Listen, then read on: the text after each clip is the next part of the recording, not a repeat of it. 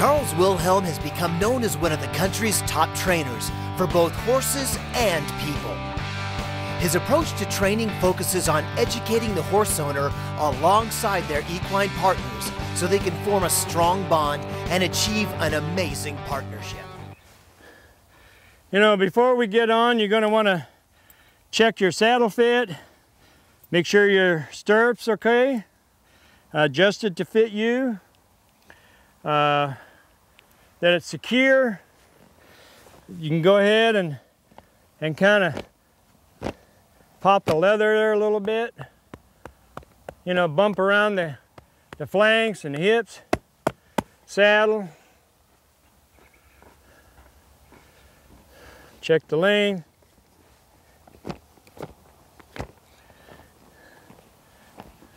Kind of bump along the side where your legs would be. And, uh, and I think we're good. So just like uh, the other horse, I'm gonna start out with a little bit of weight and uh, just back away, leave it alone. Okay, and if it wants to come and face me, that's a good thing, okay? Um, I want I want it to be a problem moving his feet and then going bolting off. All right. Let's go over and we'll put a little weight in the other side.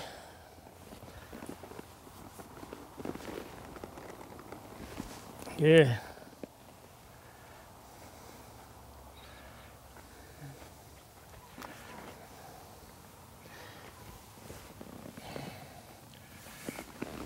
Oh, get up up, just sit there for a moment and go ahead and get right off.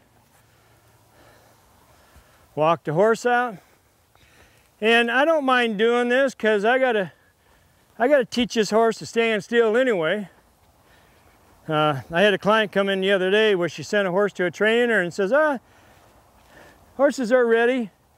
So the woman tried to get on the horse and the horse would move off. Well, he did the same thing with the, the trainer. He got on while the horse was moving his feet. So this is not a bad thing to go up and down because you're teaching this horse for the rest of your life type of thing. All right. And we can go ahead and ask for gives. In other words, uh, make contact, let the nose give to the rein. Good.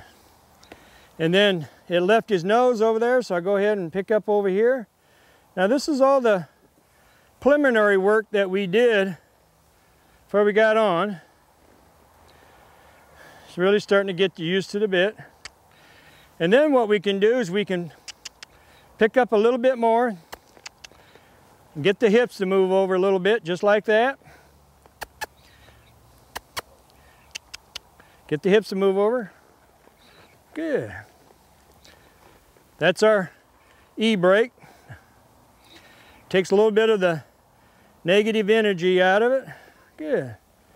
And then get the hip to move that way, get the feet to start traveling forward by picking up on the rein when the right foot steps over. When the right foot steps over, good. It's a little awkward with his feet. Good. All right. So what I'm going to do, I think that's a pretty good deal. So I'm going to get off like no big deal. It gets a chance to have a sense of relief. There we go. Good. Get the feet to move. Once the feet Move forward just like that. I release. Good.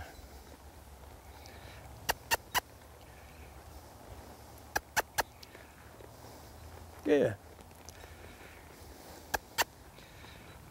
Doesn't have real good directional control, but that's what you get having a baby. Come on. Kind of playing with the bit a little bit.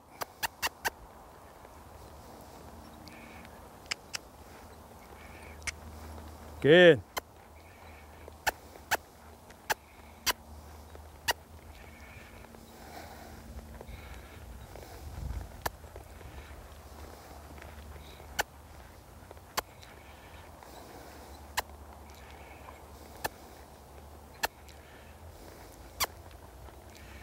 and turn to the right.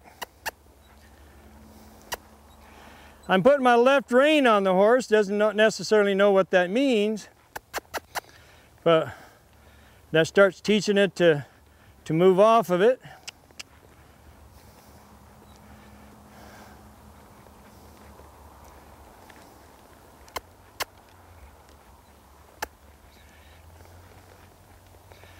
And to the left.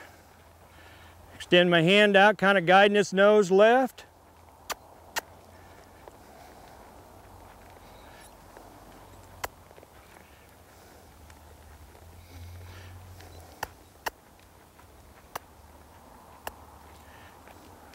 Good.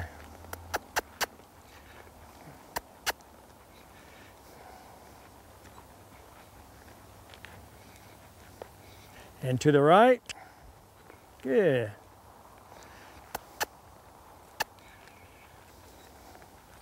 Good. And whoop. Back up. Good. And we call it a day. That was phenomenal. Um, that's what good mind horses do. That's what good preparation do. He was calm right through the lesson. We hope you've enjoyed watching Charles Wilhelm's Ultimate Foundation Horsemanship. Remember, to find out more about Charles and to see how you can get the most out of your relationship with your horse, visit Charles online at charleswilhelm.com.